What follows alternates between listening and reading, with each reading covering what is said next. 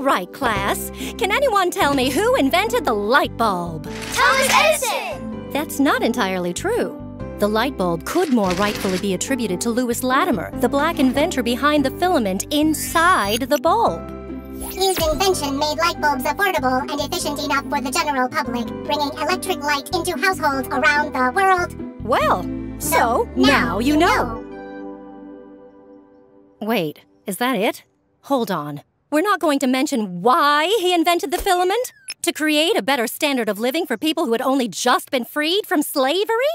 Are we going to ask why kids are apparently learning about Thomas Edison? Thomas Edison! Ugh, and not learning about Lewis Latimer? These textbooks are incomplete. There were black Roman warriors, black medieval knights, black classical musicians, black cowboys, black fighter pilots. Where are they?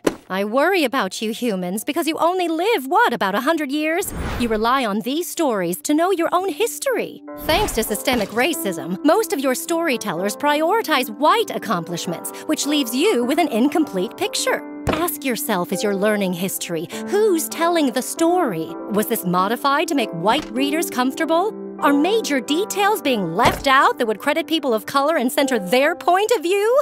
Honestly, I should have asked for script approval before agreeing to do this. We'll do some rewrites. I'm sorry. We didn't know. Well, so now you know. I swear.